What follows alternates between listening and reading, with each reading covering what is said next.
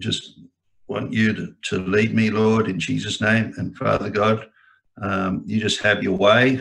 Uh, in Jesus' name, we just thank you for giving us uh, wisdom and understanding, Lord, about how to overcome uh, addiction. And uh, Lord, we thank you for direction. I thank you, Lord, that uh, you just lead me and whoever else, Lord, if we decide to um, uh, get everyone here to participate, Lord, that you just have your way, Lord. You have the preeminence in Jesus' name. Amen. There you go. That got just got rid of uh, Diotrephes. All right.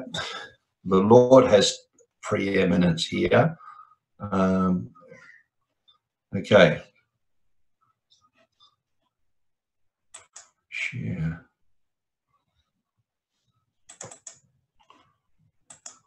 Okay. Um, all right.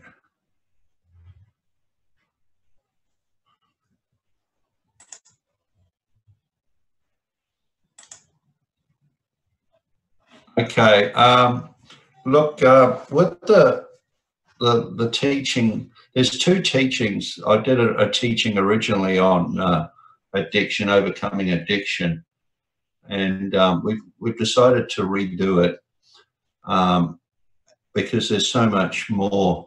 You know, I mean, we did that teaching I think three or four years ago, and there's so much that we've learned. You know, with dealing with addiction, and um, you know, there was stuff there the Lord wanted me to um, um, um, add to that. All right, but um, one of the big areas here with addiction is is obviously um, understanding, really truly understanding um, the flesh. You know, um, and, and, Paul goes through this in Romans six. I mean, uh, the flesh is is where addiction is is being fed from. It's walking in the flesh. You know, if we walk in the spirit, then um, we're not going to be a slave to addiction because addiction is firstly i just mentioned with addiction addiction the spirit of addiction uh, works with a whole team of uh, principalities other spirits. It's a it's a network okay? And um, they, these the the enemy all work together with with one agenda obviously and that is to kill you all right? Um, um, and um, how to uh, annihilate the enemy um, is is what we need to recognise now. Um, you know, I saw some words last night. Lord just reminding me of them. You know, Jesus. You know, when He made covenant with us. I mean, what Jesus did on the cross is He He he played our part.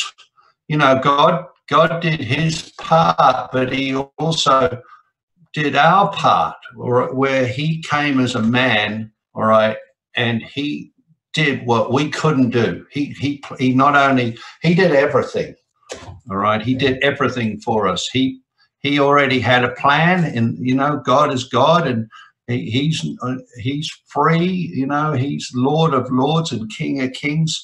But in order to redeem mankind, he played our part. He came and, and did it for us, and even did that with Abraham. You know, he put he, he had to put him to sleep. You know, to when he cut covenant with him because he didn't want man to have any part of this. one thing we've got to understand with overcoming addiction is, yeah, we can't do it in our strength. We can only do it in His. And God has has played His part, and He's done it already. He's He's annihilated death. He's annihilated sin. He's overcome everything that would um, enslave us. Okay, and we've got to understand that if as soon as we try to get um, get on that pedestal and try to do that uh, ourselves, then we are going to fall from grace, and we're going to fall into the enemy's hands, and we're going to become um, slaves to sin, slaves to addiction.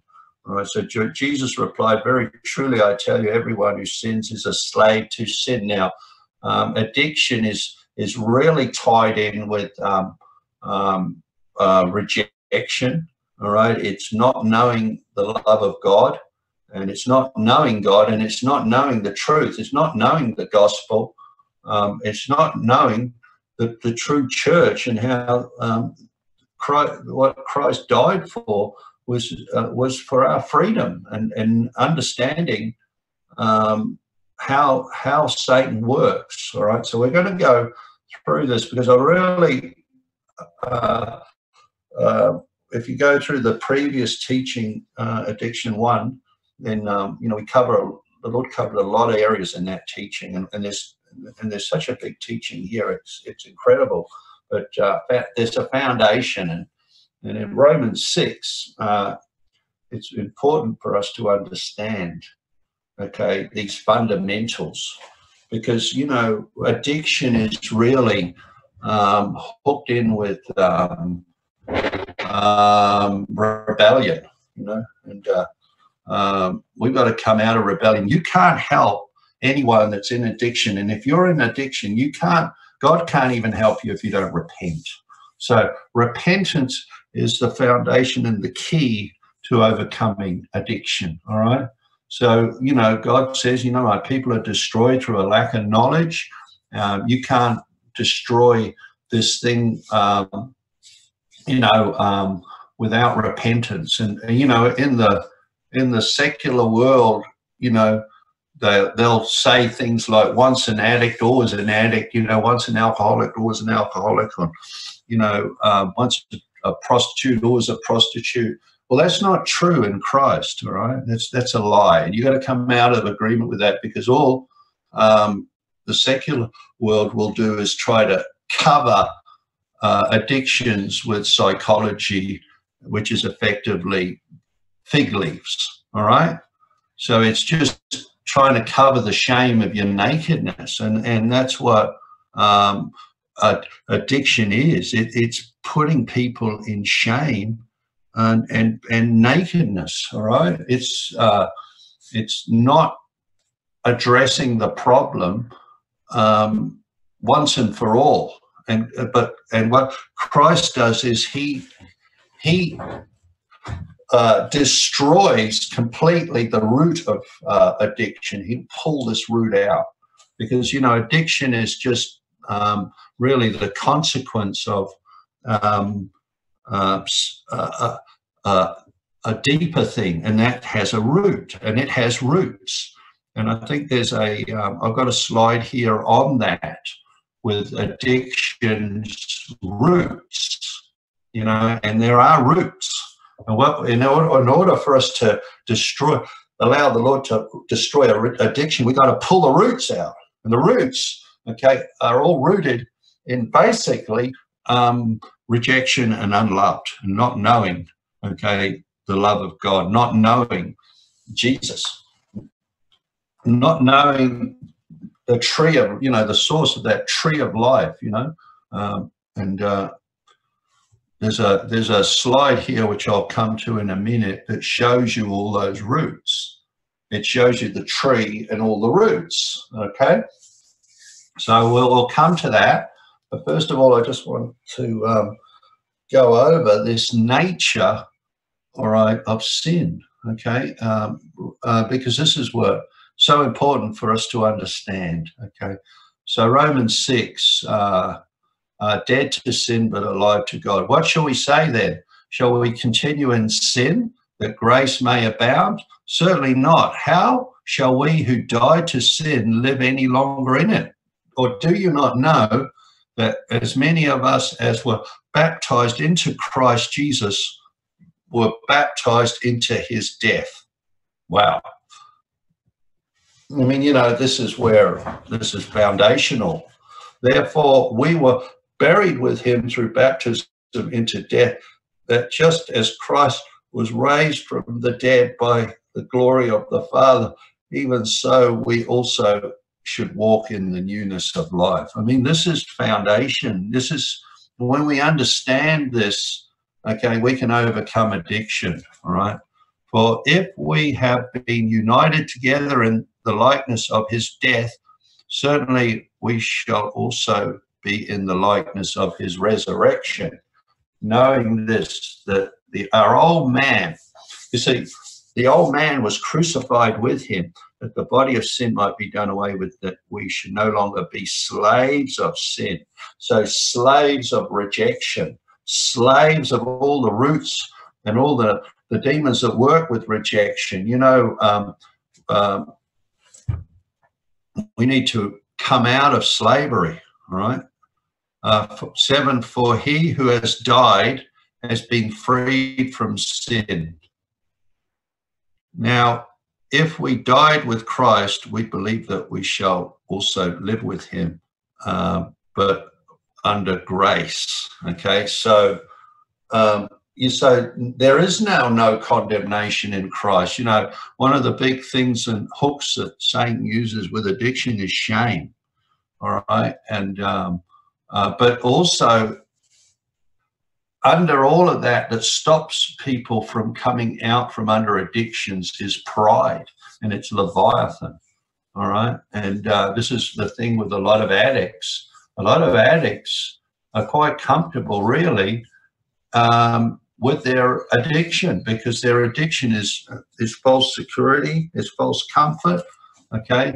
It's it's masking and it, they're hiding behind uh, the real issue which is their own rejection all right. So the demons have tricked people into giving them a false sense of security by um, allowing this thing that brings them comfort, whatever it is. We all have uh, addictions to some degrees. You know, most of us do. I mean, you know, it can be food as well.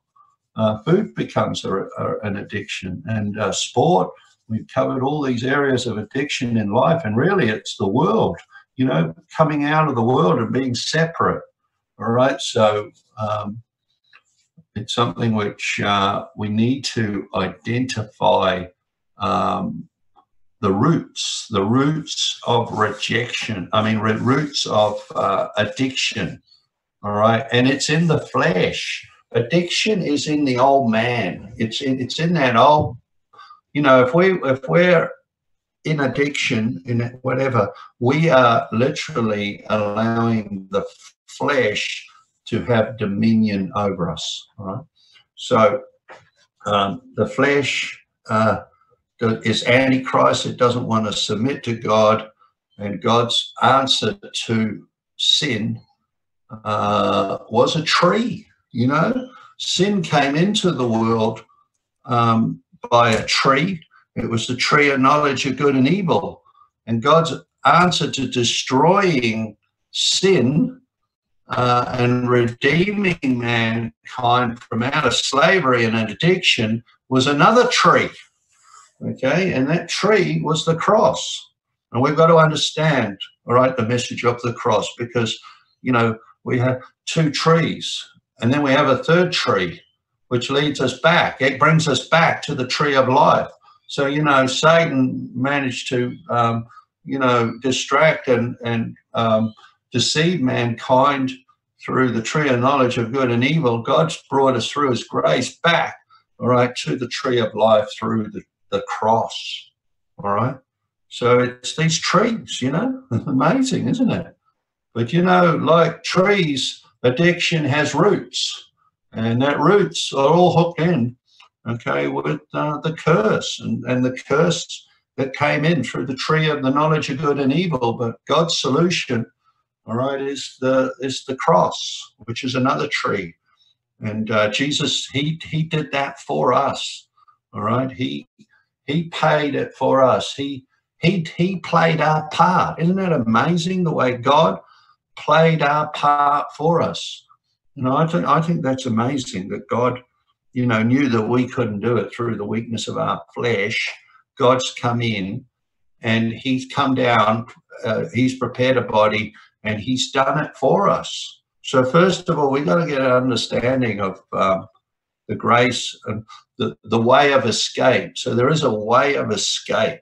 And I think this, this is what Paul in Romans 6, 6 is doing. He's clarifying and preparing uh, uh, us to understand what our wrestle really is with. A wrestle is with the flesh. It's that old man.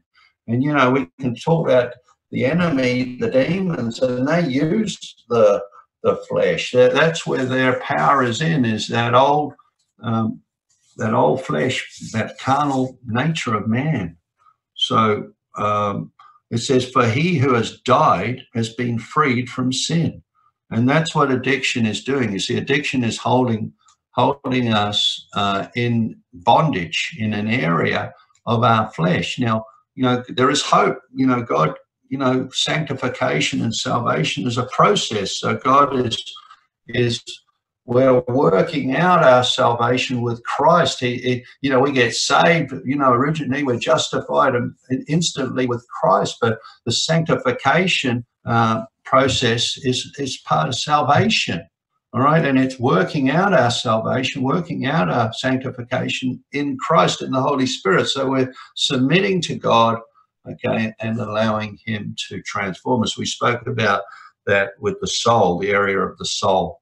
All right. So we're going to keep moving here. So, first of all, very important to understand our position. All right. We're now uh, walking in the newness of life. All right. And know that God is, um, we've been crucified with Christ and it's no longer what we live. So, rebellion is, is what is holding people captive, all right, in addiction. It's so important to come out of agreement with this. You see that rope in that picture, all right?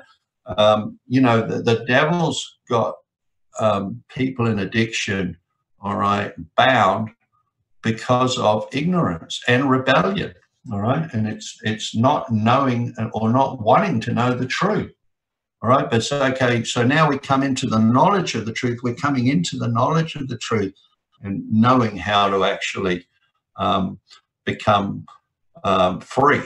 So we go to um, uh,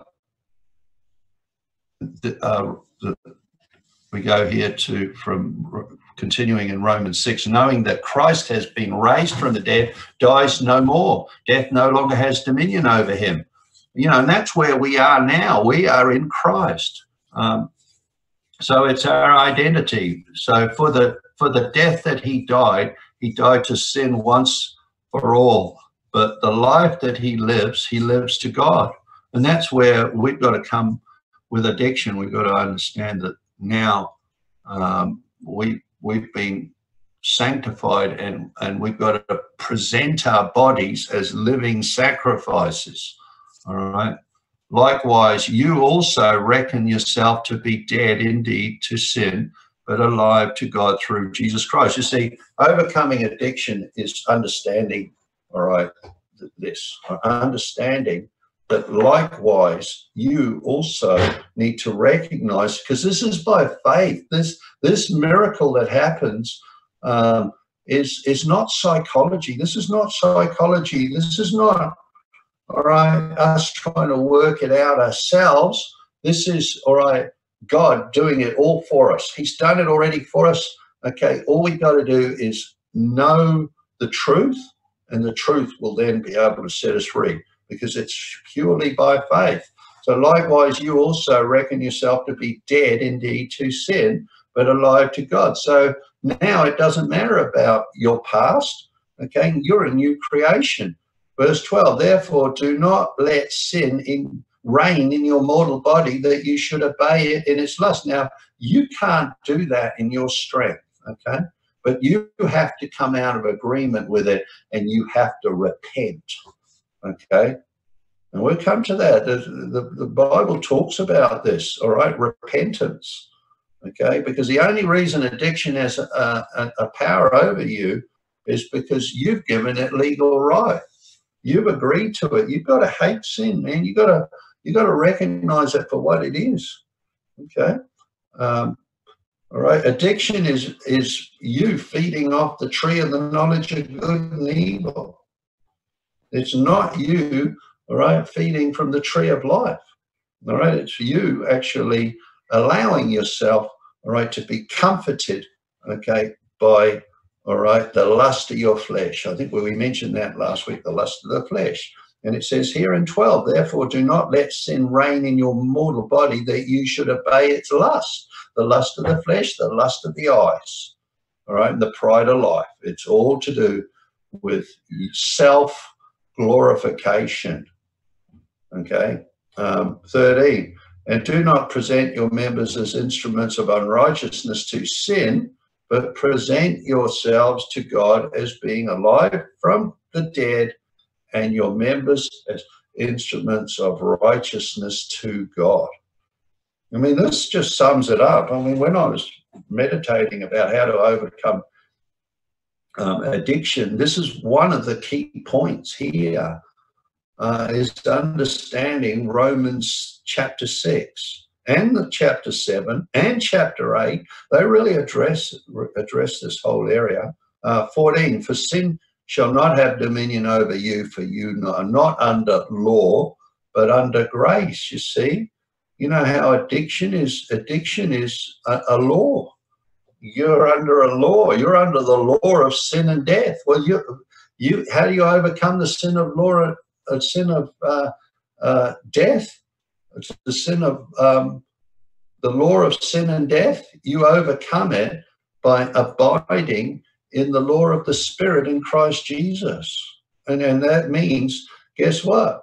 You surrender and you you surrender to Christ, surrendering to a, a, greater power.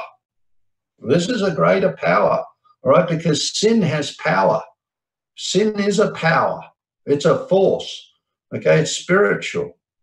Okay, and it is slavery. It it puts you in chains. So where do you want to be? You want to be a slave to sin, or you want to be? We spoke about that in the first teaching about you know how with with uh, with uh, uh, now your situation in Christ now being raised from out of that death, that body of death. Now you're abiding in the Spirit in Christ. You're now a new creation. You're a pilgrim in this world. You're not you're in the world, but not of the world. You're now okay, a citizen of heaven. You're now a king, you're a priest, okay? You're an ambassador. Man, you've been, you're royalty now. Okay, for sin shall not have dominion over you, but you are not under the, the, law. You're not under these laws of this world. You're not under this law of the devil. You're not under the law of addiction. You've got to understand this first. Okay, this thing might look like it's got power over you, but guess what? God has got a way. And, and this is the first key is understanding God's way. And this way is uh, through a tree. You know, God's way is through a tree. Now he did it. He, he, he, he what he, you know, what the words I saw last night were so powerful. Yeah, he played our part. He played your part. Whoever you are listening right now, Christ paid your part to overcome that addiction. He paid it. All right. He was tempted in all ways, but he resisted and he did not submit to it.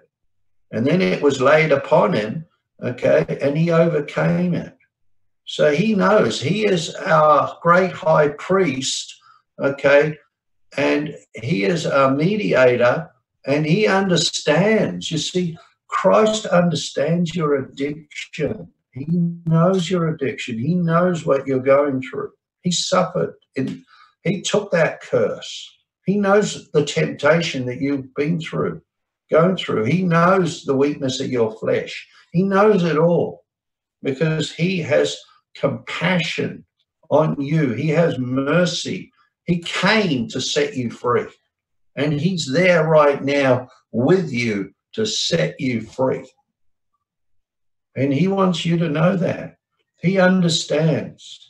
He's a God of mercy. He wouldn't have come and done all of that for us if he had no compassion. He has compassion. He was tempted in all ways, but he did not sin. So he is now our mediator. He's our advocate. He's the one that we, all right, he's the bridge where we we cross that gulf, You know, there's like an abyss, and we feel like we're on the wrong side. But Christ has not rejected us, He's not cast us off. He's there and He's reaching out His hand. You know, that hand, and, it, and that hand as a as a as a is a pierced hand. It's pierced, and he's holding it out to you because he paid the price for your addiction. All right. And that's why sin shall not have dominion over you because you're not in, under the, the law of sin and death anymore. You're not under even the law of Moses. You're not under that. Okay. Because that is another area which we spoke about last on the last teaching. You trying to do things in your strength through your own way, your own strength.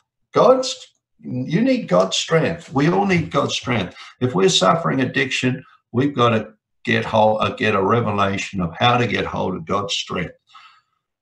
All right, because it's by grace. And guess what? His grace has already done it for you. So, how do we get this grace? This grace is what sets us free. It's coming into His grace. And His grace is perfect love. And in grace is perfect love because it's unconditional. He's not going to hit you over the head or scold you. He's going to have compassion on you, all right, to come out of that place of bondage, all right, and, and set the captives free. Isaiah 61. All right. Um, all right. So from slave to sin to slaves of God. All right. So we have a choice. So if you, you know, you're traveling down that road, as you can see in the picture, you've got to choose. You've got to choose life or death. Which one are you going to choose? And this is something that's sad, but a lot of addicts, all right, um, unfortunately, it, it, you know, with addiction, um, it's blinded us, blinded us to the truth, to life.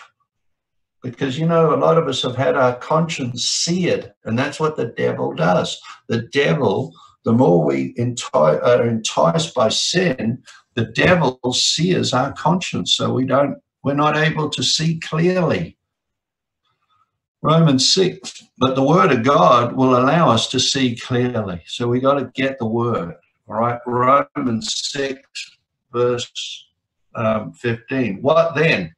Um, shall we sin because we are not under law but under grace? Certainly not. Do you not know that to whom you present yourself slaves to obey, you are one's that one's slaves whom you obey, whether to sin leading to death or to obedience leading to righteousness. But God be thanked that uh, though you were slaves to, of sin, yet you obeyed from the heart that form of doctrine to which you were delivered. Now, this is very key here is the heart, all right? Now, it mentions the heart, and that's uh, something I think as well in James 4. One of the big keys to getting delivered from addiction is James 4. Um, and I've, I've, got a slide on that, I think here. Uh, uh, uh, no, I don't have a slide on that one yet because I haven't put that one together yet, but I will go through that on the next teaching. All right. Um, all right. So it's an issue with our heart. We have to identify, okay, where this iniquity is. And addiction is an iniquity and it's in your heart all right? But it's not in the new heart, it's in your old heart. It's in that uncrucified heart.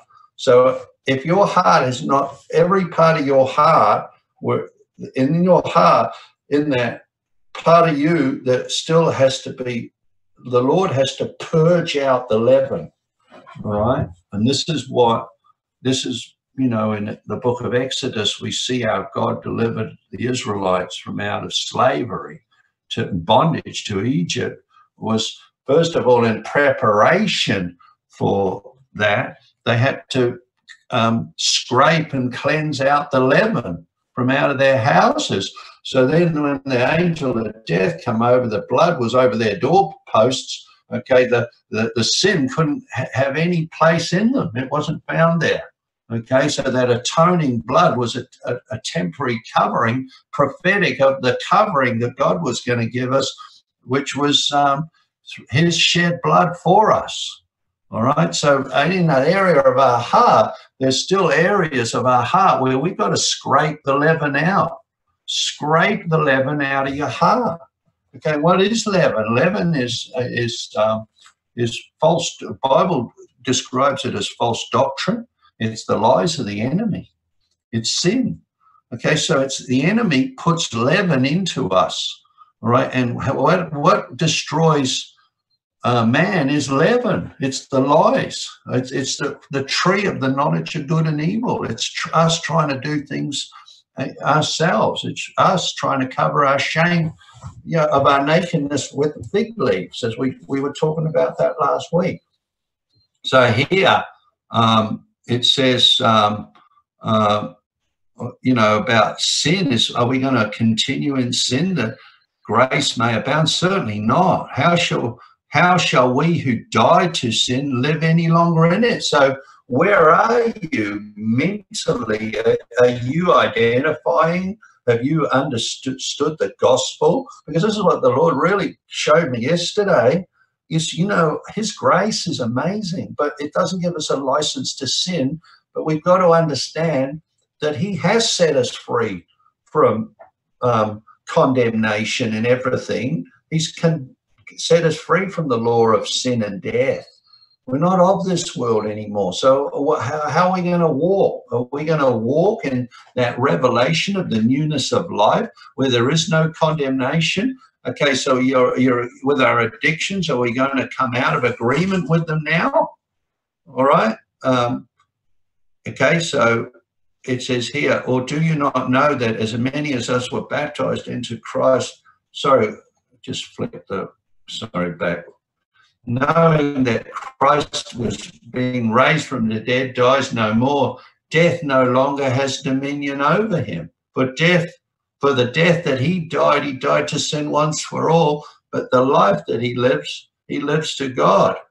All right. So likewise, reckon yourself to be dead indeed to sin, but alive to God. So it's revelation. All right. It's understanding. Okay. Um, we've been bought. We no longer are our life. It's no longer your life. You belong to Christ. Okay. So Romans 6, right? We're just back on Romans 6, verse 15 here, because this this this uh, uh, goes this. Sorry, I'll just read. What then shall we say? Shall we sin because we are not under law but under grace? Certainly not. Or do you not, not know that to whom you present yourselves slaves to obey, you are the one slaves whom you obey, whether sin leading to death or of obedience leading to righteousness. But God be thanked that through, though you were slaves to sin, yet you obeyed from the heart. Okay, now that's where we were. That's the key, the heart. All right. And iniquity is in the heart. So we've got to cleanse. Bible says, cleanse you, your, your heart, you sinners. You know, cleanse your heart. Allow the Holy Spirit, all right, to bring up and come out of agreement and repent for what's in your heart. False comfort, which is what these addictions are. It's, it's slavery, that form of doctrine to which you were delivered. And having been set free from sin, you become slaves of righteousness. I speak in human terms because of the weakness of your flesh. You see, this is this is where the addiction is. It's in the weakness of your flesh. All right. For just as you presented your members as slaves of uncleanness and unlawlessness, leading to more lawlessness, so now present your members as slaves of righteousness for holiness. So there's going to be a, a, cost. This this will cost you. All right, coming out of addiction will cost you. And you know, none of us. You know, it's a miracle that God delivers us if we submit. But when we make that choice, and it's going to hurt you know, because it's comfort, you know, it's false comfort. Addictions to whatever is a sin, it's false comfort. It's pleasing to your flesh, you know, it feels good. Whatever it is, you might be addicted, whatever you're addicted to, it feels good. It, it gives you, okay, a, a sense of um, a relief, doesn't it? A comfort. All right, but it's going to cost you when you come out of agreement with it because uh, you're going to feel uncomfortable uh, in your flesh. All right. For when you were slaves of sin, you were free in regard to righteousness. Okay. What fruit did you have then in the things of which you are now ashamed? You see, so in addiction, you're a, you're ashamed if you've repent now okay and you um, um, come out of agreement with it you've got to be careful now not to have shame all right? Because shame will hold you in bondage all right? It'll expose your nakedness but you've got to understand now in christ you're no longer naked You've now been clothed with the robe of garment of his righteousness. You know, and, and one thing we can look at is the prodigal son here. The prodigal son is a classic example of coming out of addiction. All right.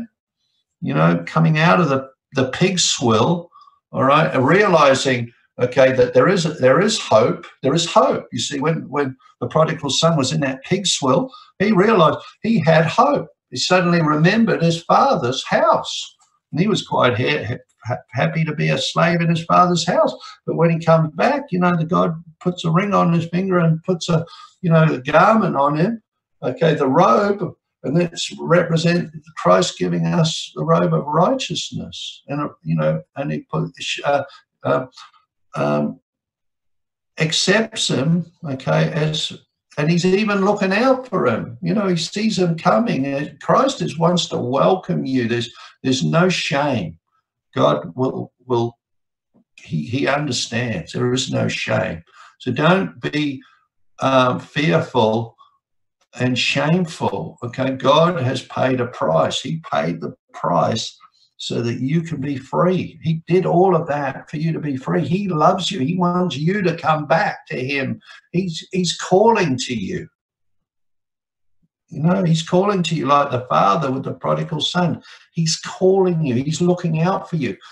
Come, you know, don't let the enemy, don't look back. Don't look back to the pig swell. As you enter and you come towards Christ, don't look back at that pig swell. Because the enemy, all right, is trying to entice you back. Because there is a better place, all right? Um, and that's what it's saying here. But now, having been set from sin and having become slaves of God, you have your fruit to holiness and the end, everlasting life. So don't be deceived with addiction. Addiction is Satan's device, all right, to bring you back into slavery to sin. But when we understand this, all right, um, we, we, we're going to come out from it. And you have to make a choice. For the wages of sin is death, but the gift of God is eternal life in Christ Jesus. You know, we got to bear fruit. And that's going to cost you. There is going to be a price. The Bible says to present your bodies as living sacrifices. All right. So the flesh, where is the war? The war is in our members, it's in our flesh. And, and we will we come to that um, um, uh, in the next chapter, but this we can say, um, has then what is good become death to me? Certainly not. I think this is seven. We've crossed into seven. Yeah, uh, Romans seven. Uh, has then what is good become death to me? Certainly not.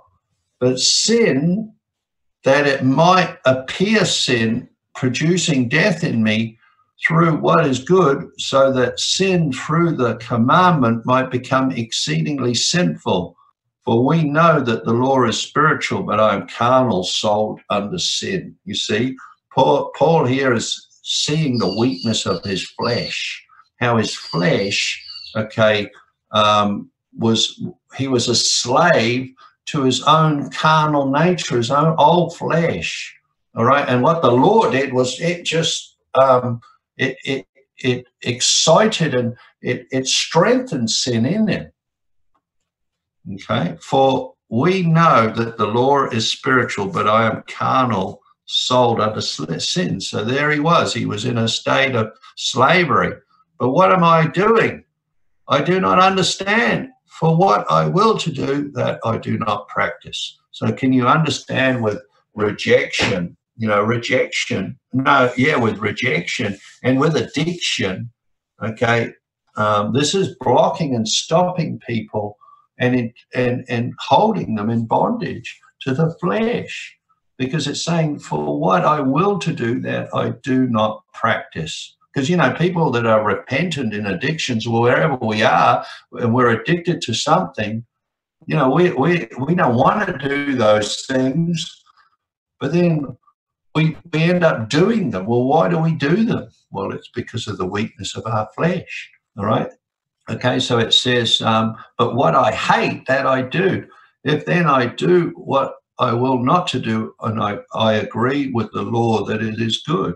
Okay, but now it is no longer I who do it, but sin that dwells in me. So the sin nature in addiction, all right, is what's driving people through their flesh.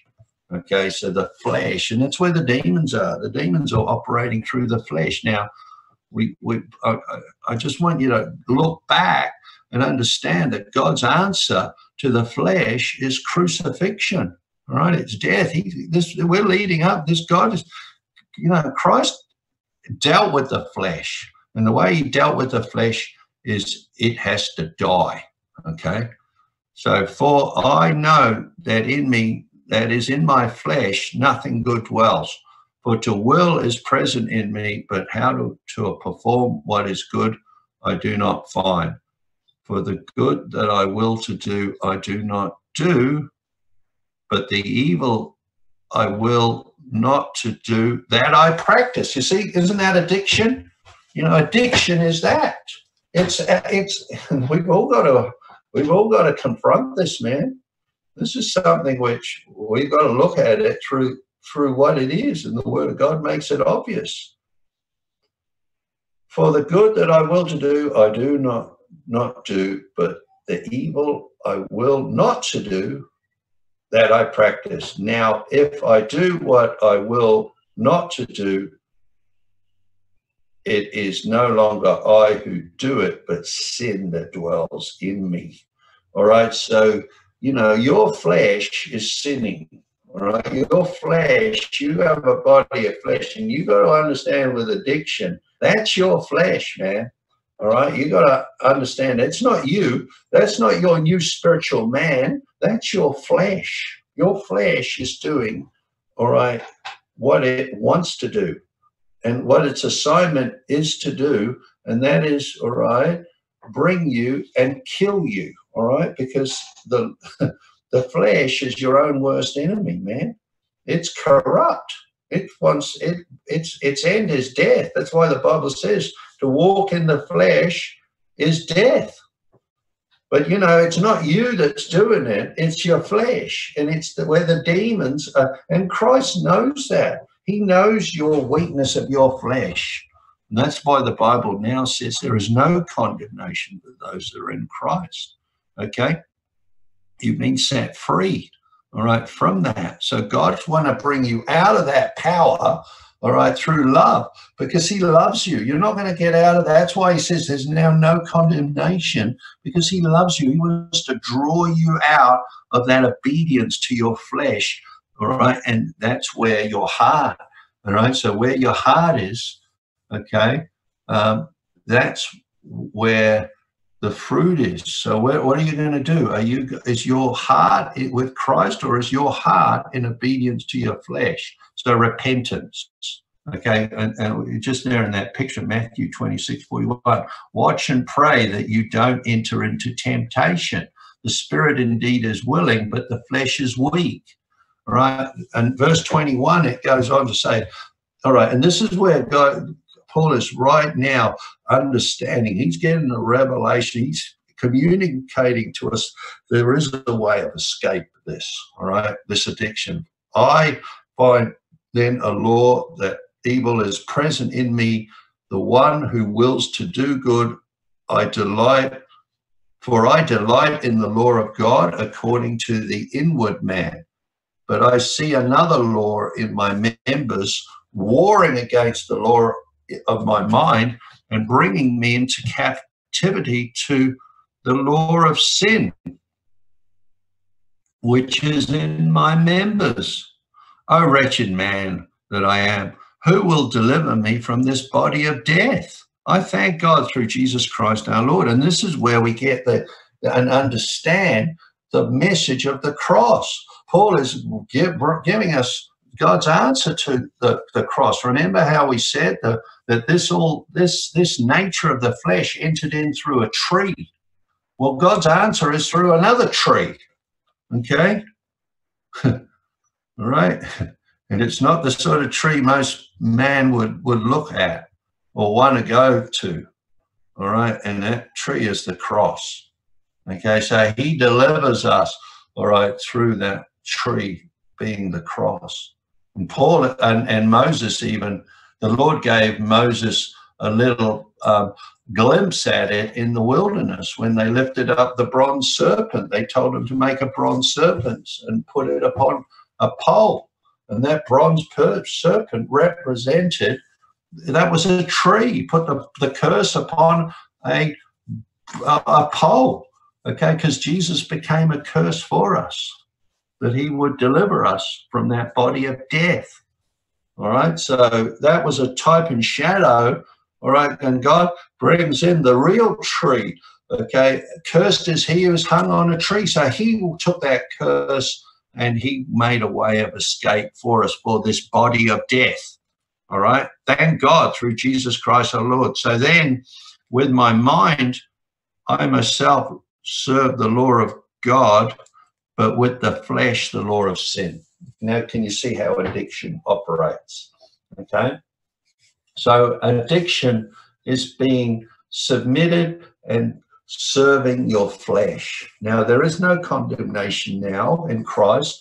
If you want to get over addiction, you got to love the truth, but don't get convicted about, I mean, don't get condemned. Conviction is okay, but conviction will bring you holiness because God, God can, wants to do is bring you out of that, draw you out of that through his love, draw you out of that, that, that slavery because you're free now. You're, you are no longer a slave to your flesh. You're not, you have a you have now a choice. And this is what I, the Lord showed me a while ago is that our freedom in Christ, we're no longer slave to the flesh. You're not. You have power over it if you, all right, attack it from Christ. If you got to understand that being free in Christ, okay, is now puts you in a place where you have now a right to choose. Did you get that? You have a place to choose now. You are in Christ. You can choose to serve the flesh, to serve that addiction, or you can choose, all right, to serve, all right, the law of Christ, the law of liberty, okay, and allow Christ to overcome that obsession and that nature of sin because your nature now is no longer in slavery. You have a choice, you have freedom. Freedom is there and it is presented. And that's why I'll just go back when you see that picture there life or death, choose. You see that? You have now a choice. Before you had no choice. See that one on the left? Oh, sorry, that one on the right going to death? That's where you were on before. But now God has brought you to the cross. Okay? And you now you have the right to choose to go down that one of life. All right? Don't allow the devil to think to to make you think that you have no choice. You now have the, choice. You have the power, you have the Holy Spirit, and he will guide you and lead you out of out of that slavery to um, the flesh. Okay, so we got to understand it's the flesh, all right? The carnal mind. We spoke about that last teaching. Your carnal mind is an enemy of God. So now you're going to have the mind of Christ. Okay, so um, all right, so it says here, watch and pray that you don't enter into temptation, for the spirit is indeed willing, but the flesh is weak. Okay, so um, all right, so then we, we enter into Romans 8, and Romans 8, all right, now brings you into the law of the Spirit. Okay, I'm just going to come to this one here um, with Zechariah. But first, it says, Yeah, there is then now no more condemnation for those in Christ who walk, do not walk according to the flesh, but according to the Spirit. For the law of the Spirit of Christ in the law of the Spirit of life, the law of life, man, uh, in Christ has made us free from the law of sin and death. For what the law could not do, in that it was weak through the flesh, God did by sending his Son in the likeness of sinful flesh. On account of sin, he condemned sin in the flesh, that the righteous requirement of the law might be fulfilled in us who do not walk according to the flesh, but according to the Spirit. And now, and then it says, For those who live according to the flesh, set their minds on the things of the flesh You see? So with addiction, you got to come out of agreement with that. That you've got to set your mind on the things above and not the things of this world.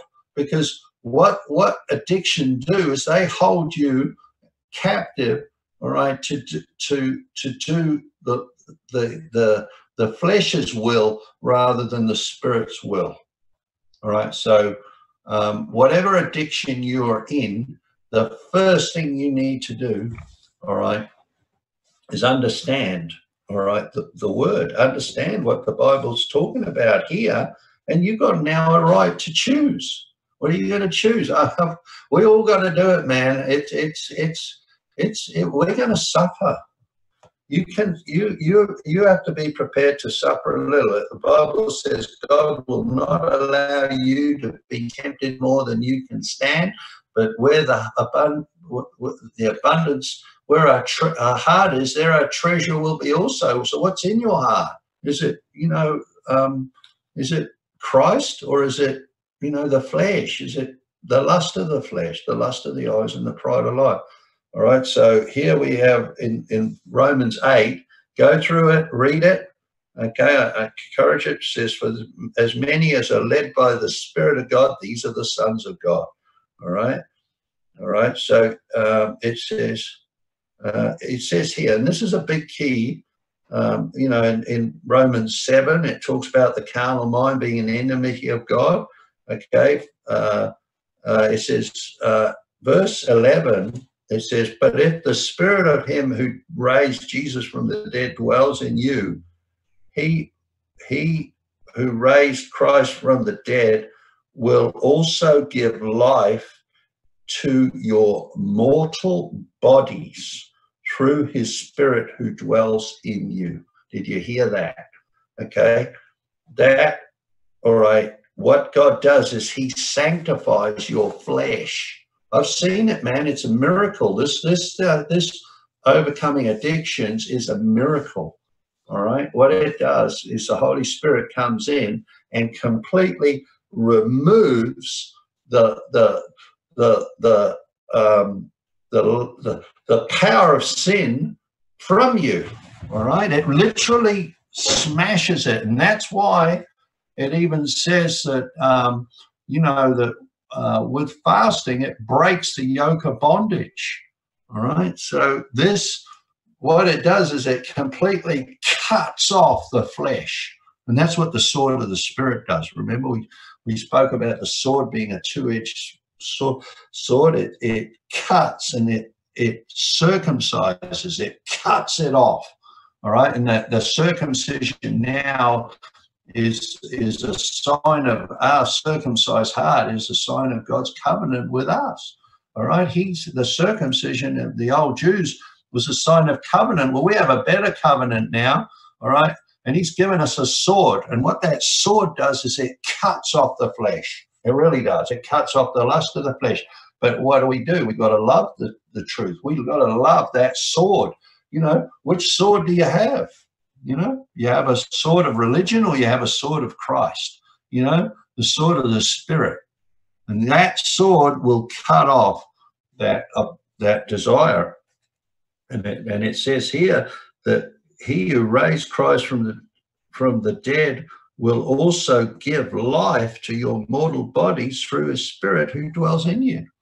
All right, so that means that sin will no longer have dominion over you.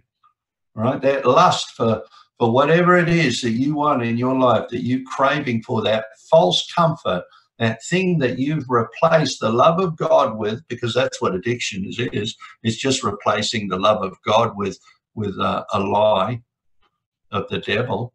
All right. And remember, we spoke about arrested development. That spirit of arrested development does that. If you, there's a spirit called arrested development, and what it does is it channels you into everything, all right, that would lead you down a path of destruction. And, one of them, all right, is lust, it's addictions, and uh, um, the pride of life.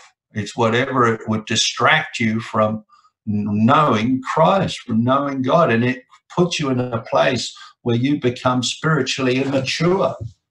All right? It arrests your development in Christ. And that all comes out of a root of rejection, that spirit. And that brings in Jezebel and all the other spirits that network with arrested development. They use that spirit, they use gangs of spirits to lie to you and deceive you and entice you right? So what's going to come against them and destroy them is is is the sword, the sword of the spirit. So addiction.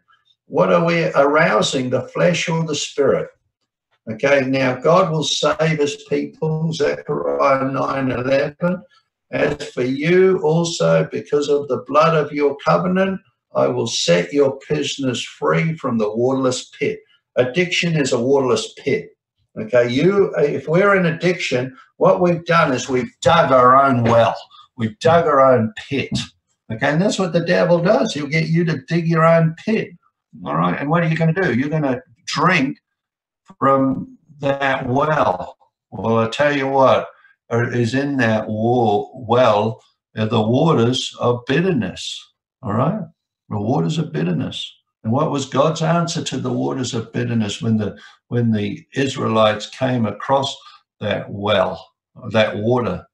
You know, they threw in um, hyssop, or they threw, they think it was hyssop they threw into it. And that just throwing in, all right, a, a type and shadow of the tree of life, the cross. Okay. And that what did that do? It made the bitter water sweet. So how do we come out of this well that we dug? All right, through the cross. All right.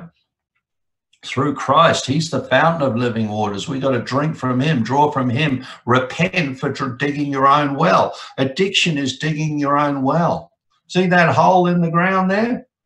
That's what happens when you get into addiction. You've allowed yourself all right, through the lust of your flesh and the lust of the eyes and the pride of life and through false comfort, you've drawn from your own well.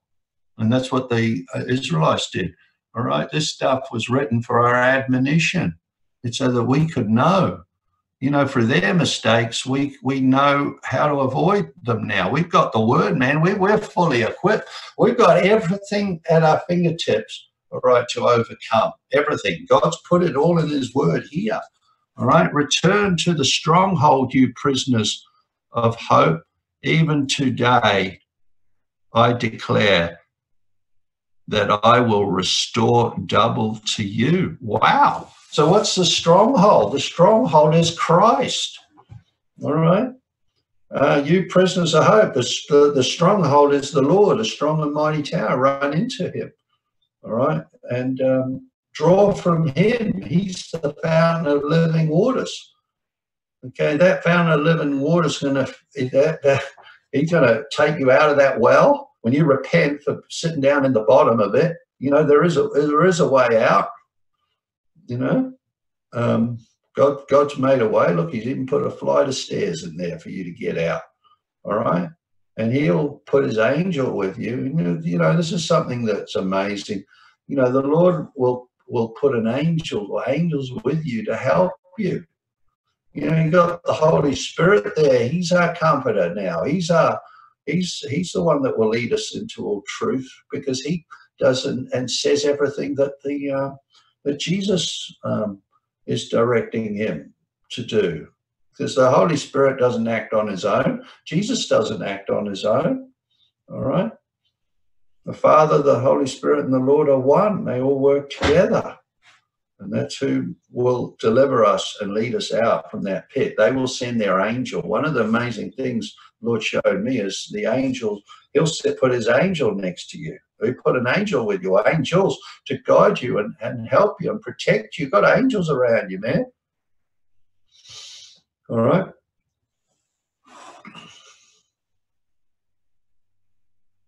Uh,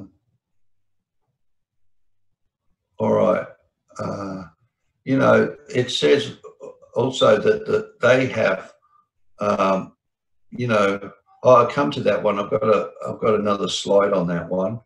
All right. Um, uh, okay. See here, I, have got so much material here. Um, I'm going to go right now. Just give me a second. I'm going to get out of here. I'm going to go to the roots of rejection now.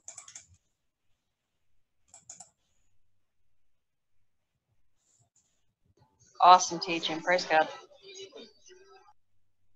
Yeah, thanks, Tracy. Um, look, we yeah remember we spoke about the um, uh, the you know the, this is like a type and shadow of the tree of uh, knowledge and good and evil you know it's man's way man trying to do things his way roots of addiction let's uh you know i'm going to come back later on to I won't do it in this teaching, but we'll come back there another because there's whole areas there which um, I want to address. Um, so here, all right. So one of the big keys to deliverance as well is James 4, and we'll go there later on. And, and I'm just going to quickly read through it because I don't, there's so much here. God's armed us with so much uh, revelation on how to escape the snare of the devil uh, but you know, one of the things that I've noticed with people that are enslaved with addictions is pride and it's Leviathan. All right. I've come across it last night even with a sister. All right. They don't want to be helped, man. They want to wallow in their self grief and their and, and they want to milk the system. They want to milk their situation in their own rejection, okay, and false comfort. And you got to be careful of that. You got to repent because it, James 4, this is a big key for overcoming addiction. All right. And uh, you can you can write it down. Uh, James 4, chapter 7. But it says here in verse 6, sorry, I'll back up. Uh, but he who gives more grace, therefore he says, God resists the proud, but gives grace to the humble. Therefore, submit to God, resist the devil, and he will flee from you. Draw near to God, and he will draw near to you. Cleanse your hearts, you sinners, and purify your hearts, you double minded. Okay? You see, addiction is double mindedness. All right? Lament and mourn and weep. Let your laughter be turned to mourning and your joy to gloom. Humble yourselves in the sight of the Lord, and he will lift you up. All right. Uh, do not speak evil of one another, brethren. He who speaks evil of a brother and judges his brother speaks evil of the law and judges the law. But if you judge the law, you are not a doer of the law, but a judge. Therefore, there is one lawgiver who is able to save and destroy. who are you to judge another? Come now, you who say today or tomorrow. All right, okay. I just added that bit on because one thing we found, all right, is um, um, a lot of judgmentalness going on here. And, and Bible, the Lord's saying here, you know, one of the big uh, areas that a lot of people don't get set free. We pray for a lot of people with addictions, man, and we want to see them get set free. And, and the Lord wants to see you get set free. But pride is what holds you. All right. And that pride is in in um, in in your false comfort. You've made that thing an idol. So idolatry comes in here. And what is hooked in with idolatry is stubbornness. Stubbornness is as the sin of idolatry. And people that are snared by the devil, okay, have made this addiction their comfort. It's their rock. It's what they stand on. All right. So, you know, when you're taking away that addiction, you're taking away their security. All right. They've made those things their security. All right. And this is where um, um, we need to humble ourselves. We've got to renounce pride, renounce Leviathan, and uh, submit to God. All right. All right. So, roots of addiction trained by saving grace. Okay. So, we're going to look at that picture in a minute because it's got, it's, uh, it's got a lot of stuff there which uh, is a revelation and will show you what we're talking about. And you know, see that that ground that that thing's sitting in, all right, that dirt, that is the flesh. That is your flesh. That's your old man, all right? That is the part of your you that Christ, all right, has in order to set you free, okay, had to crucify. So Jesus crucified his own flesh. He allowed himself to be crucified and his old flesh, his that old that body that Jesus lived in, all right, was crucified. So when you come to Christ, you are now crucified with him so that that old body where that ground is see that brown dirt where that tree sits in that's your flesh so when that dies guess what that root dies. How awesome is that? All right, that that ground is your flesh. That's the old carnal nature of Adam. That's feeding those roots. It's feeding loneliness, fear, shame, grief, anger, hereditary factors. That's something else which I'll come to on, on another teaching is overcoming uh, uh, addiction through um, ancestral curses. All right, so there's a little bit involved here, but the fundamental area that the Lord really wanted, thank you, Jesus, amazing. The Lord's amazing. He wants us to understand is the flesh. That flesh, that old carnal nature of Adam is what feeds all of those roots. All right, it feeds it, man. And what's God's answer to that is death when you get crucified with Christ and you you crucify that carnal nature. Now that's there's a power in the, your flesh, man, and, and it's not something which when you come out of agreement with something, it's going to cost you. It'll cost you. You're going to have to, all right, give it up. We all have to give it up, whatever it is. All right. But you know what?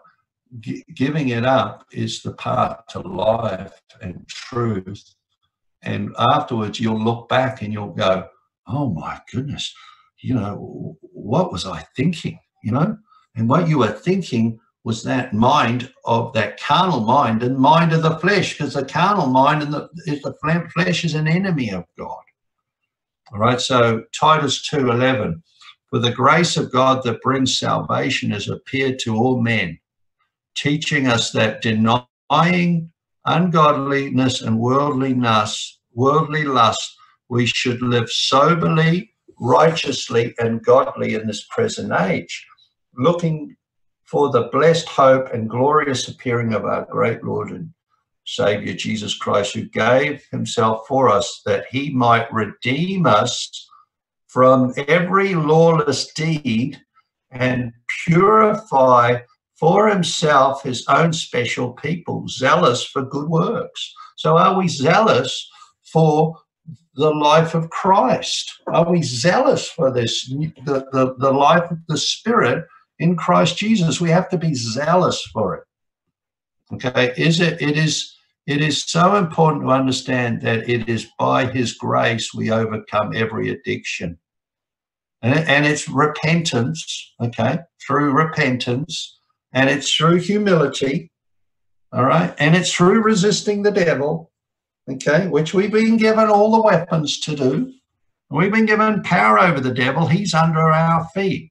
So, so when we allow the emotions to control us, we actually allow the enemy to block the power of, of his spirit. This is why we must come boldly to the Lord by faith in what he says about us, not what the enemy has told us. So it's casting down every thought and imagination that exalts itself above the knowledge of Christ. So here we see in the picture, all right, the root of addiction. But you can see the gambling, the sex, the drugs, false religion. You see, false religion, religion is is a is an addiction. You know, and I've noticed that a lot with uh, so many Christians. They have been so mind controlled by Luciferian end time mind control spirits that they've accepted a form of Christianity that is nothing to do with scripture. All right. And it's not the true church because they've accepted another Jesus, a false Jesus. All right. And don't get me started on that. All right. But I just have to mention that. So we get mind controlled. You know, the Lord, the Satan will mind control us. All right. And and we're not able to see. He puts scales over your eyes, so you can't see the truth. And here, what, what happens in a with um, uh, with deliverance, you know, we can attack all these things, but they're not the root. The roots. We need to the Lord to pull the roots out. Okay. But you know, where are the roots sitting? And this is another one. Where is it sitting? in the soil of addictions. What is the soil of addictions? The soil of addictions is that uncrucified flesh that people have have um, submitted themselves to. All right, we just read through that, didn't we? Romans six. All right, Romans seven. All right, understanding that. And what's the answer to that? Is another tree. What replaces that tree? What, what pulls that tree out? Okay, it's the cross. Okay, we've got to allow Christ to, we've got to identify with our, in our baptism what baptism's all about. You know, and what did John the Baptist do? He preached repentance, the, the prepare the way of the Lord.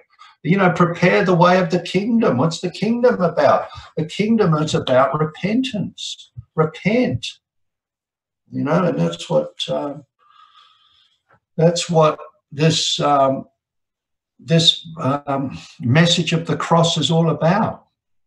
It's about repentance. It's about changing direction.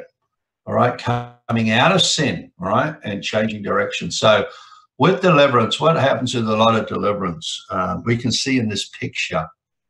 We we can be inclined to attack the foliage all right, the branches, but not attack the root. And this is why, in a lot of cases, with uh, you know, when we do deliverance, uh, people don't get set free because they we haven't uh, uh pulled the roots out. You know what? We've got to get the root, and you know, we've got to actually till the soil first. You know, we've got to actually, you know, well, what's the soil all about? You know, the Lord's just showing me right now Okay, thank you, Jesus. It's about the heart. You know what? What? What is it? God says, you know, He promised that He will give us a new heart. All right, the circumcision of the heart, a new heart. All right, Now, what's that new heart? That new heart that he gives us replaces that heart of stone. So when you look at that, you can see that that root is going down into that rocky, hard, hard-hearted heart of stone. All right. And God's answer to that that old heart is um, is um, the cross. It's got to be crucified. It's got to be put to death. All right. So when you deal with that that old heart, the old heart has to be nailed to that cross. Because that when we come into agreement and we we by faith we come into the should I say revelation. You come into the revelation of believing the message of the cross, then what happens, and you submit and humble yourself, okay, God is able to give you that new heart. And when he puts that new heart in, guess what? That old rejection, loneliness, fear, shame, grief, and everything, they literally just wither and die. They can't live in the new heart. They can't. That stuff cannot live in that new heart. You know why? That new heart is the born again man. That's Christ. That's Christ in you. You have his nature, his heart. Is there any rejection, shame, fear, guilt, loneliness, anger in, in, in Christ's heart? No. All right, well, that's whose heart we have now. It's part of the reconciliation at the cross. It's an exchange. At the, at, at the cross, there's an exchange. Your rejection, all right, for his love, his acceptance. Your shame, okay, for his victory over shame, for his right standing with God. With right standing and righteousness, there is no shame. With, with, without, with fear, there's perfect love. With loneliness, there's the comfort of the Holy Spirit. With grief, there's actually, all right, comfort and joy, all right, and peace.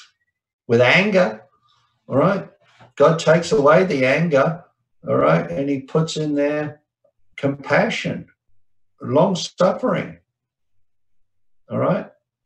Um, hereditary stuff. He what he does is he cuts off that ungodly bloodline off you, and you are now officially you are in actual fact a bloodline of Jesus Christ. But what he does is he cuts off the flesh from being able to attack and have power over you because it's your flesh. And this is what so many Christian Christian and Christianity today don't understand. All right, the nature of the flesh, the nature of the that unredeemed soul, that part of the soul that needs to be sanctified through the washing of the word, which we read about in Romans 12.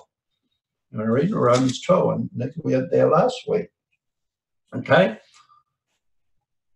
So, um, all right, so generational curses, all right, uh, of addiction, all right, Leviticus, that's something, uh, another area we need to just identify here because with uh, with um, the power of the message of the cross, okay, what it does is it cuts off, all right, the iniquity that's in our, from our forefathers, you know, because it's, um, uh, you know, uh, wrote it down here. I'm just going to write down some reference. I'll give you some reference scriptures uh, go through here. Uh,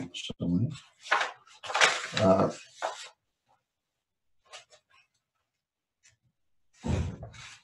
I'll come back to them in a minute.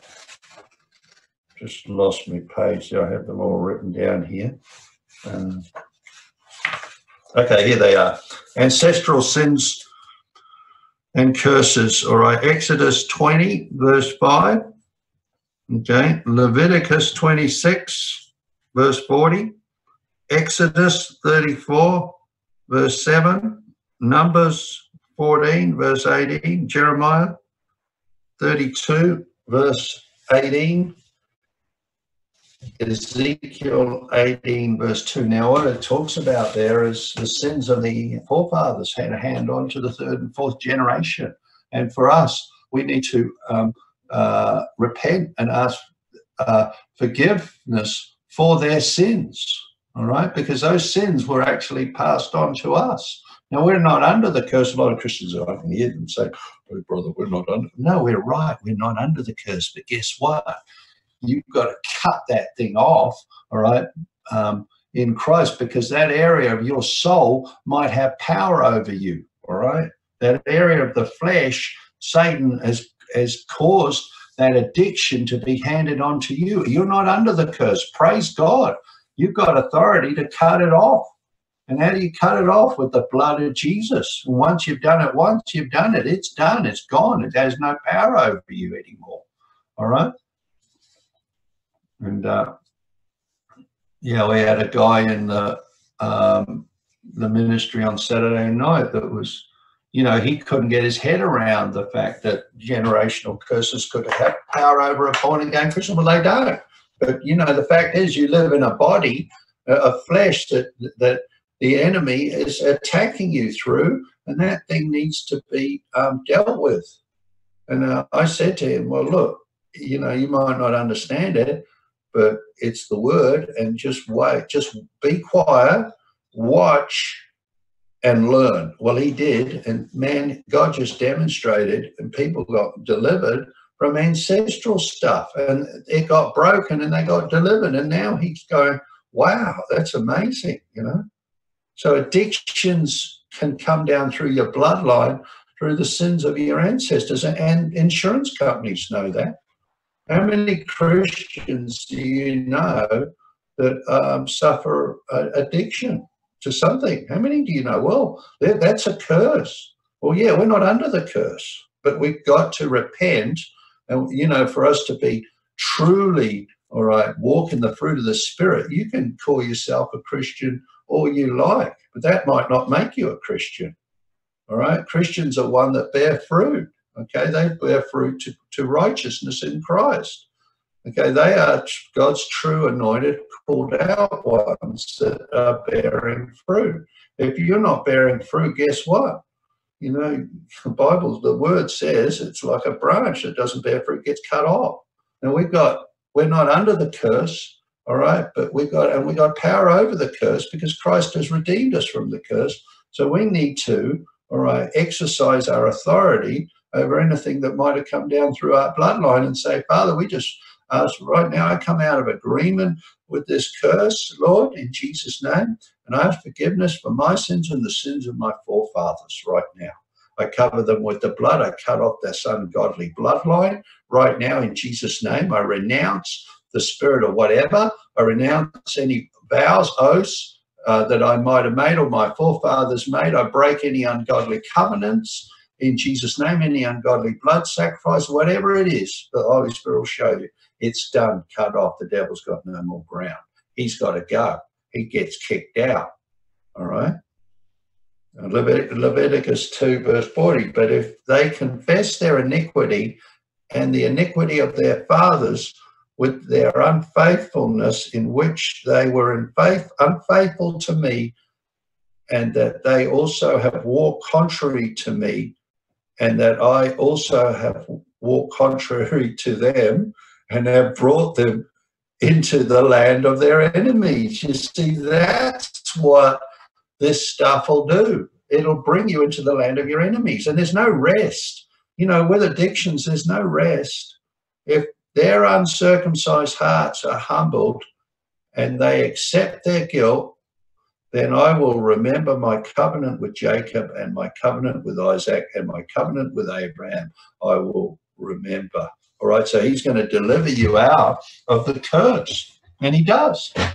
He brings us out through the blood of Jesus. You see, the blood of Jesus has now completely annihilated, all right, the law of sin and death, the curse. It's completely smashed it, but it comes out and it is destroyed by our confession. It's like how you got saved. How did you get saved? You confess, believe with your heart and confess with your mouth. It's the same with getting delivered. You're delivered from addictions, delivered from whatever it is. You get delivered by confessing with your mouth, believing with your heart first, and then confessing with your mouth. Because then the iniquity and the leaven in your heart is dealt with. And it's purging out the leaven, you know. People celebrate, you know, Passover, and they call it, you know, Easter. I don't know why they call it some pagan festival.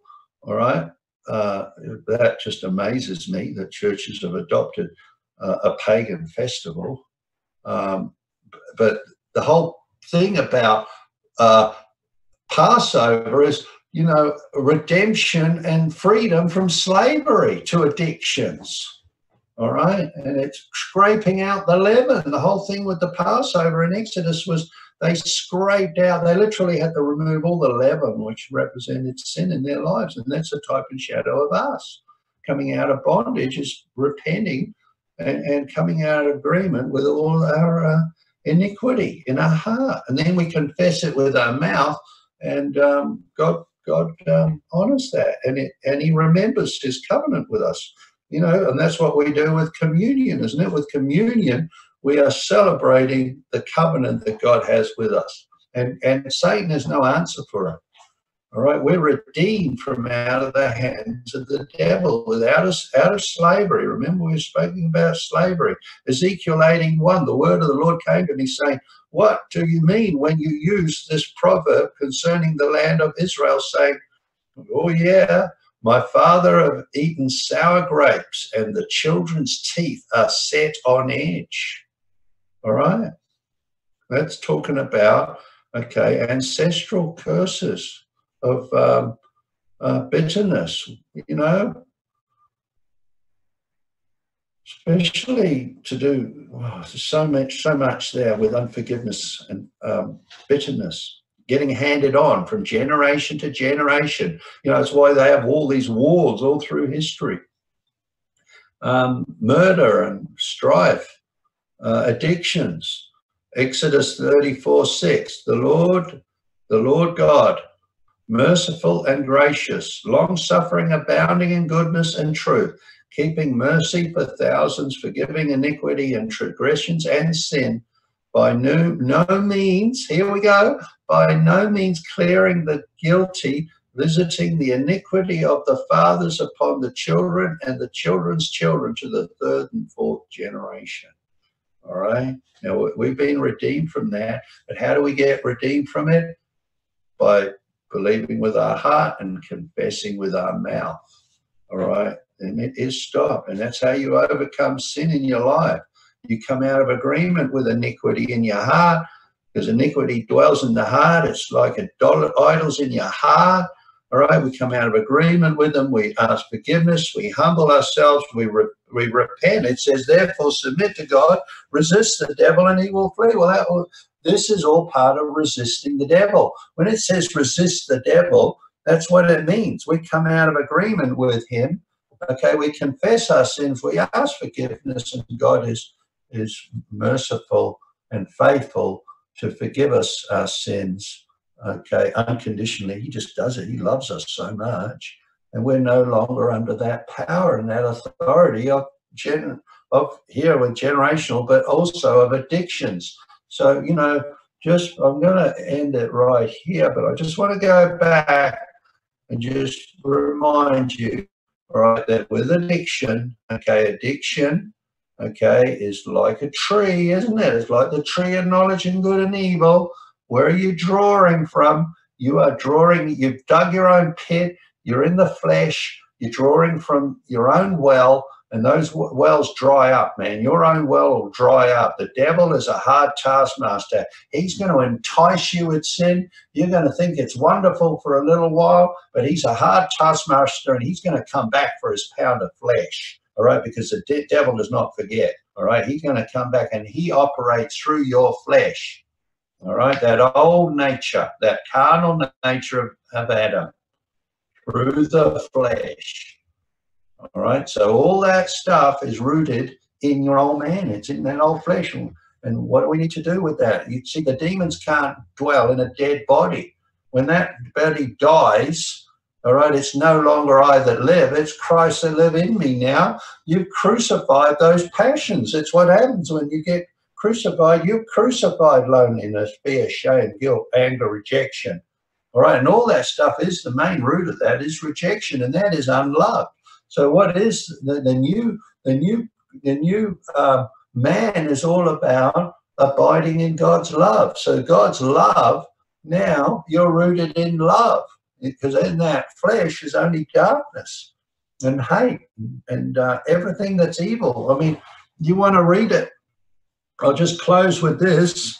Um, I'm just going to go to Galatians, uh, Galatians uh, 5, because it's very important for us to identify with this nature. Okay, the nature is okay, of the flesh.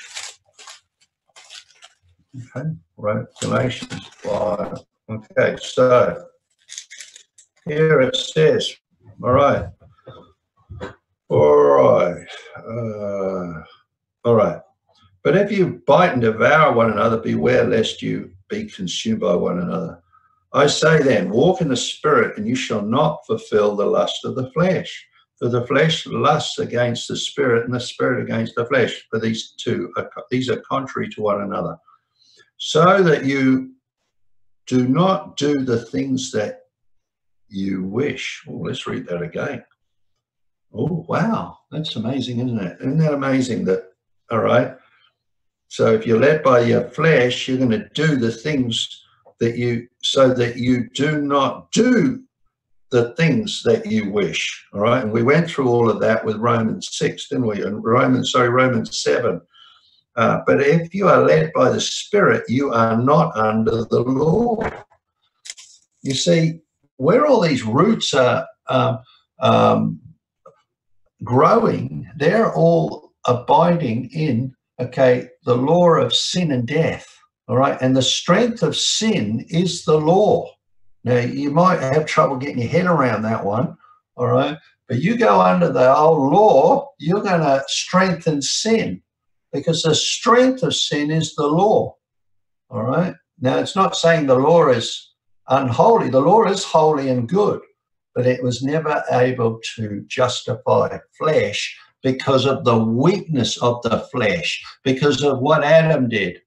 Adam allowed the flesh to be corrupted, and there was no way that you trying to keep a bunch of rules and regulations and laws was going to redeem yourself from the okay from the curse from the strength of sin and death. It was a law okay? So the only way god could do that all right was through the cross okay so he had to crucify okay, that old carnal man and put it to death. All right. So now it says, For if you are led by the Spirit, you are not under the law. Okay. Because the law, what the law does is strengthen sin because the law was put there for you to know what's, or the Jews to know what sin was. It wasn't put there to justify man because it says if righteousness was through the law, then Jesus died in vain. There was no point for him to come. But obviously, the law couldn't make anyone whole, anyone righteous, and no one was ever made righteous through the law. But God put it there so that we could know what sin was. So now it says, now it says, the works of the flesh are evident. All right, so let's read them. Which are adultery, fornication, uncleanness, lewdness, idolatry sorcery, hate, contentions, jealousies, outbursts of wrath, selfish ambitions, okay, heresies, murders, um, outbursts of wrath, selfish ambitions, dissensions, heresies, envy, murders, drunkenness, revelries.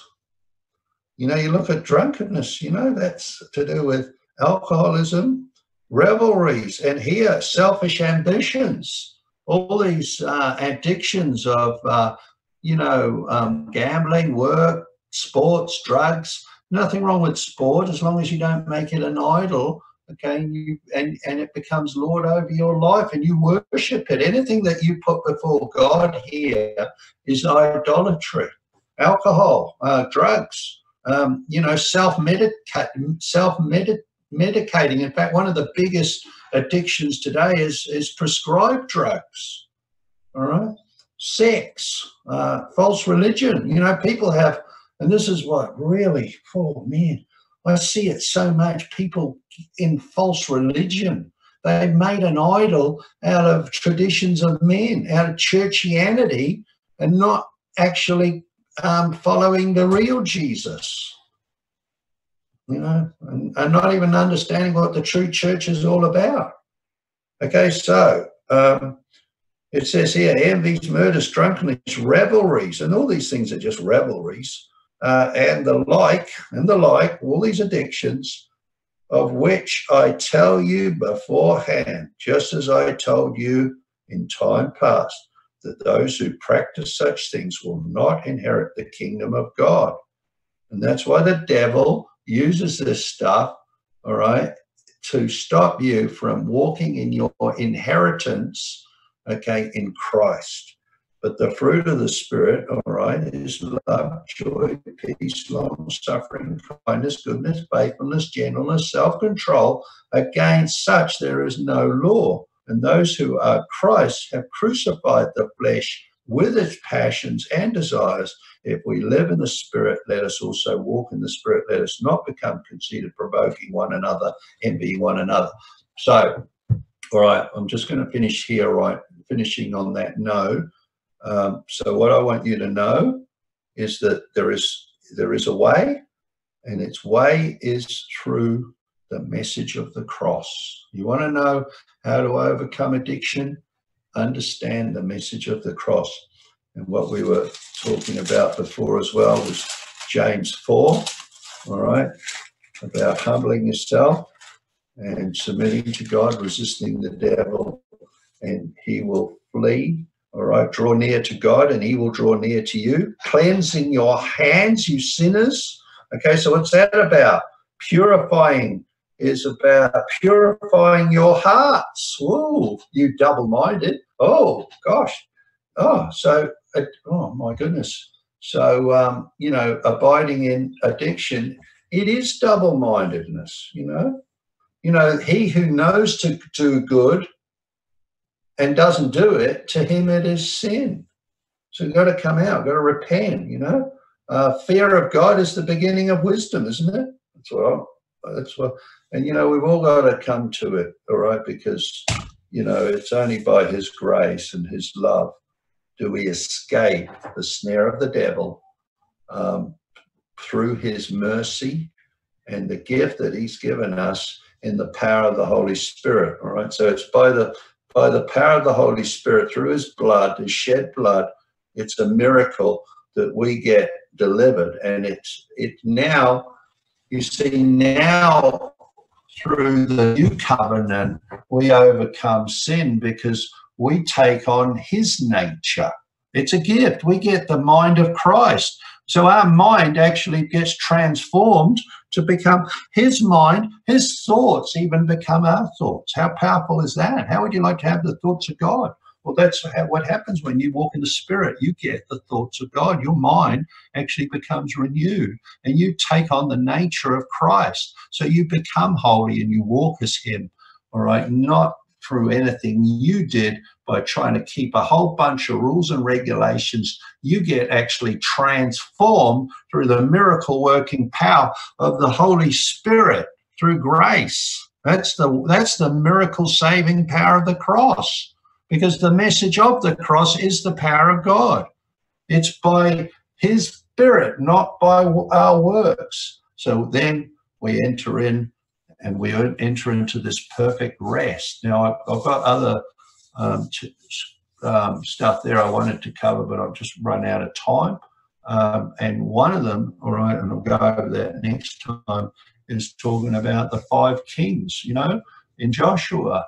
Uh, they represent the five senses, and what are we, uh, we, we to do? We're, we're to um, um, take their heads off, literally. We take the head of the enemy off with the sword, with the word of God. And that's how you overcome. Amen. So um, we'll just end it there. Thank you, Jesus. Thank you, Father. Thank you, Holy Spirit, for um, giving us understanding of what the true gospel is. Jesus said, You said you are the way, the truth, and the life.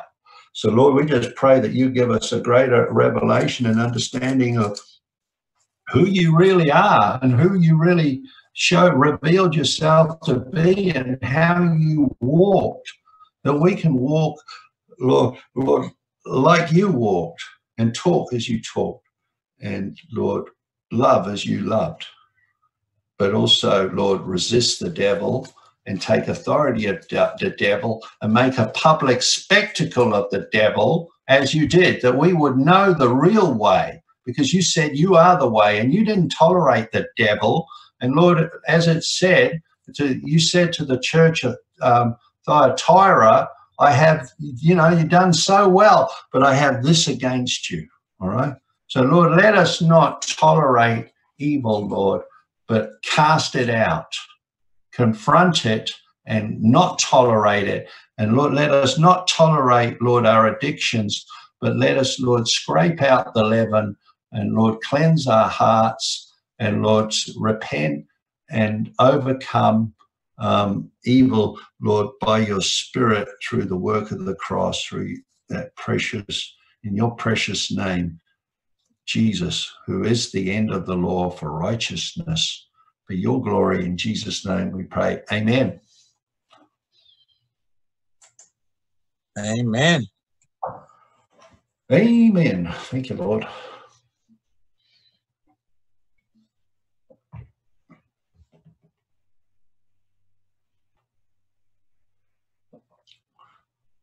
So I was meditating on all of this about two weeks ago. The Lord just dropped it in my spirit. Romans 6 and 7 and 8.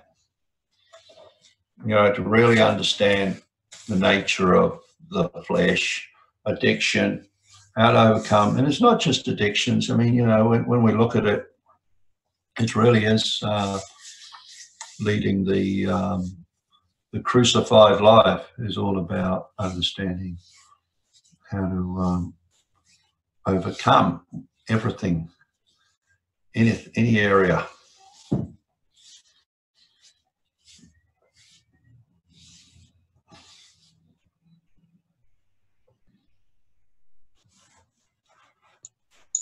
Amen. I agree. Thank you, Lord.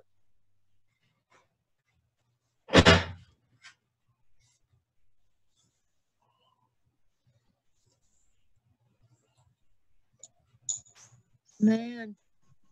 Any questions? Comments?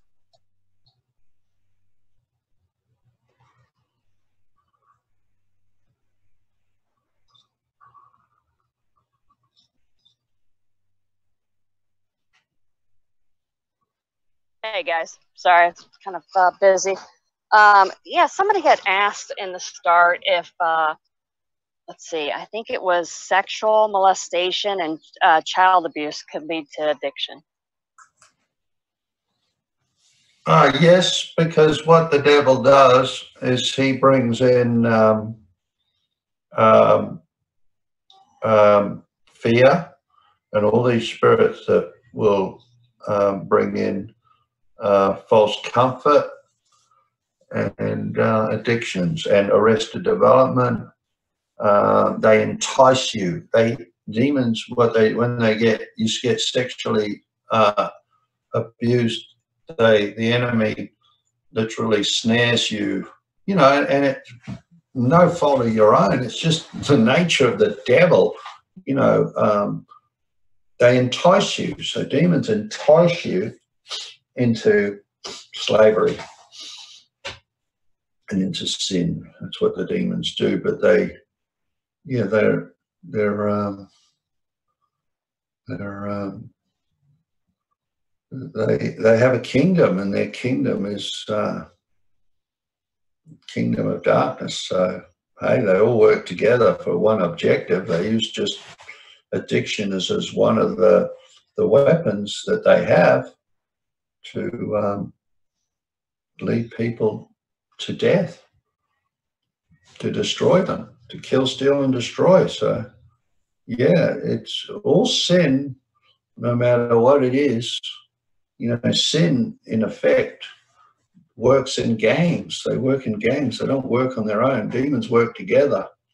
Kingdom divided against itself cannot stand, and that's what Jesus said. Um, you know, Satan's kingdom is not divided. And that's what he was talking about then. He was talking about Satan's kingdom. Satan's kingdom is not divided. It works together as an army.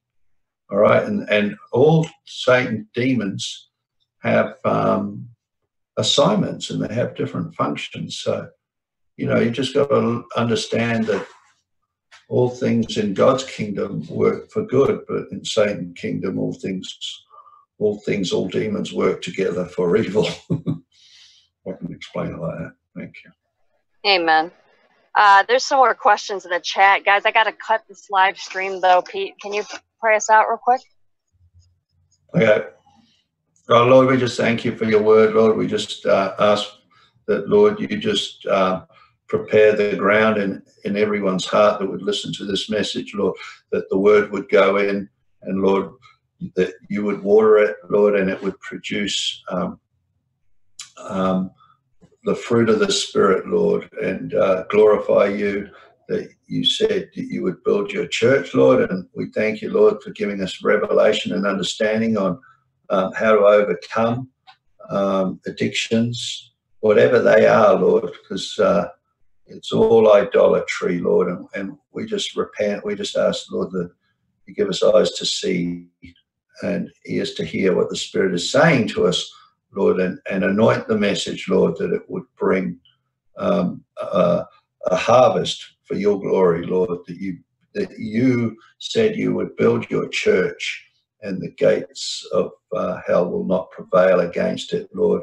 And we thank you, Lord, that as we just said, a kingdom divided against itself cannot stand. So, Lord, we just ask you right now to give us understanding, Lord, on uh, your kingdom, uh, how it's not divided, but it abides in perfect love. But the enemy's kingdom abides in fear and um, shame and guilt and everything that's evil.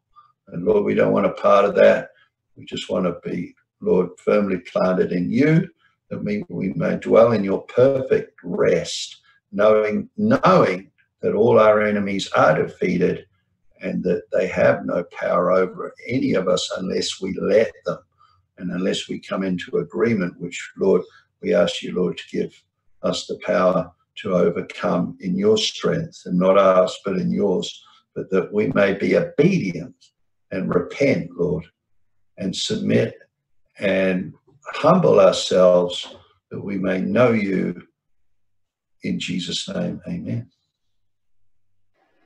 Amen. We agree. Thank you, Jesus.